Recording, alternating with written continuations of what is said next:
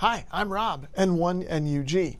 In today's video, we're going to be taking a look at this ATU100HF ham radio antenna tuner that GOOZEEZOO sent me to review and share with you. When you purchase one of these tuners from GOOZEEZOO, you will get the tuner itself and you'll get a power lead with a barrel connector on one end and flying leads on the other. So you're going to have to add your own connectors on this side to mate up to whatever power supply or battery that you're going to use.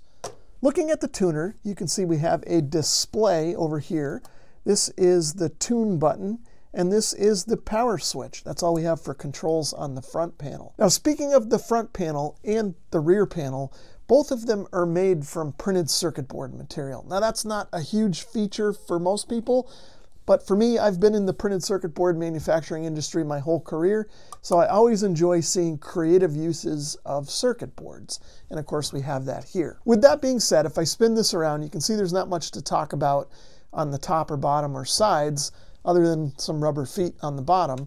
But if we take a look at the back of the unit, we can see we've got two SO239 jacks, one for the transmitter and one for the antenna. And then over here we've got two wire terminals that can accept bare wire or banana plugs, and these would be used for connecting up a long wire antenna. The antenna itself would go to the red one, and the black one would go to ground. And then of course over here we've got the power socket that mates up with the supplied barrel connector for the power lead. I ended up getting some Anderson power poles on the power wire, and I've got the tuner plugged into my 12 volt power supply back there on the bench.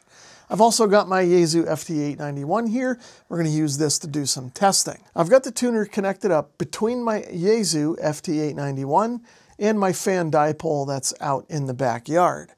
Now, the first thing I want to show you is that when the tuner is completely off, it's in sort of bypass mode. That means if you don't need the tuner, if your antenna is already cut for the band you're working on, like mine is, on 40 meters, you can leave the tuner off and it'll just kind of transmit through and not cause a problem. Now, of course, there probably is some insertion loss with this setup. I don't know what that is. It doesn't seem like it's very much, but I encourage you to look at the specs and see if you can find that information on your own. Now, I don't recommend that you have the tuner in line if you don't need it because of insertion losses and that kind of a thing.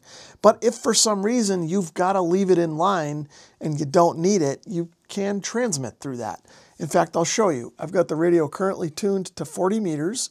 We're in AM mode, so we'll be able to throw just a plain carrier and the radio is putting out about 10 watts. We're currently receiving, you can see I've got an S9 signal, and that's because of some noisy LED lights out in the yard that I need to turn off. But nevertheless, if I key up the radio and transmit in AM mode, we will throw about a 10 watt carrier, bypass the tuner, and go right to the antenna. And you'll see here from the SWR meter, which is currently active, that the SWR is quite good on this antenna with the tuner off. Okay, and there you go. You can see the SWR is just registering about 1.1 while we're transmitting, and again, it's about 10 watt carrier. So now if I tune down to the CW portion of the 40 meter band and key up, still in AM mode, so we're throwing a carrier, you're going to see that the SWR is a little bit higher. So in this case, it's approaching two to one, at least according to the radios meter. So at this point, I'll turn on the tuner and we'll go through the exercise of matching the antenna at this frequency. So to turn it on, I just push the button, wait a few seconds, and of course it boots up and we're ready to go. So now if I key up the radio, the tuner should do its thing and match the antenna to the transmitter. And while it's doing it, We'll hear a few clicks and whirs and things like that, like you'd normally expect from a tuner, and we'll also see the information on the screen down here change. So let's try it out and see how it goes.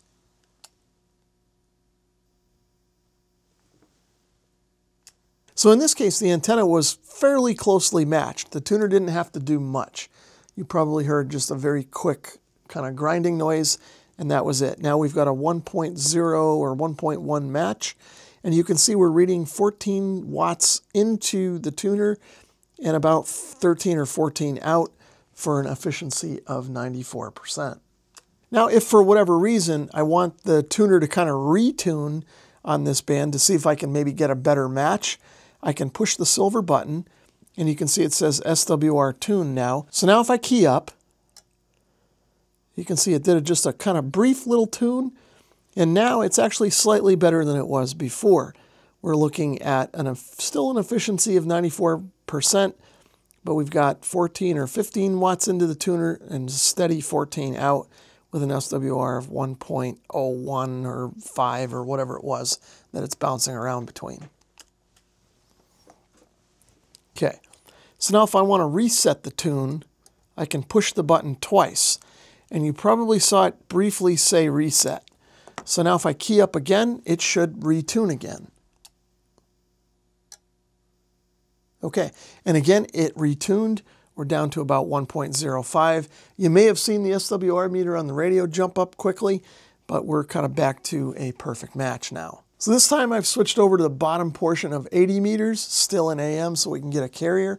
I'm just going to key up and go for it, and let's see what the tuner does.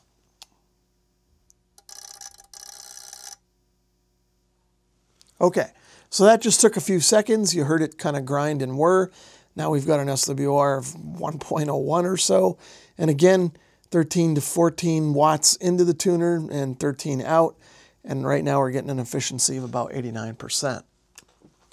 Now when I unkey, you'll see some information here on the screen. Obviously no power is going out, so we've got an SWR of zero, but you can see we've got a measured capacitance of 1000 picofarad and a measured inductance of 3.20 microhenries. So now I've switched over to 17 meters.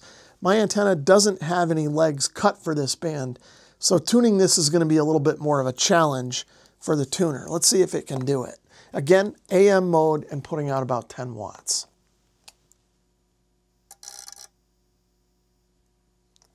And no problem, took just a couple of seconds and we've got a good tune on 17 meters. Now if we go by the specs that are printed on the front panel, this tuner should only work between 1.8 megahertz and 30 megahertz.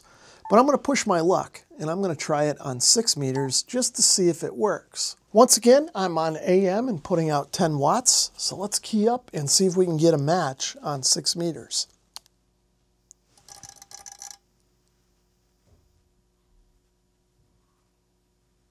Okay, that took a little bit longer, but you can see we do have a match. SWR is 1.01, power out 14 watts, power at the antenna 13, and an efficiency of 91%. However, if you look at the radio, you can see the radio is now seeing an SWR of 2. So it's not really working quite right. I'm not sure which meter to believe, the radio or the tuner. So I'm not sure I would trust this on 6 meters but it might work in a pinch. So keep that in mind if you're considering buying one of these. One of the antennas that I have out in my yard is a Maco V58 CB radio antenna.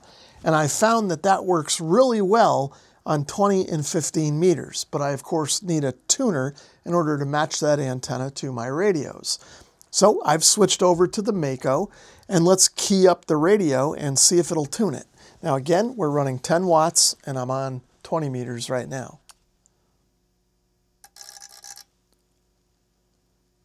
Okay, it took a few seconds and we've got a reading of 1.14 and according to the radio, the meter looks good on there too. So I think we've got a good match. This should work. Now let's try 15 meters and see if it tunes it there.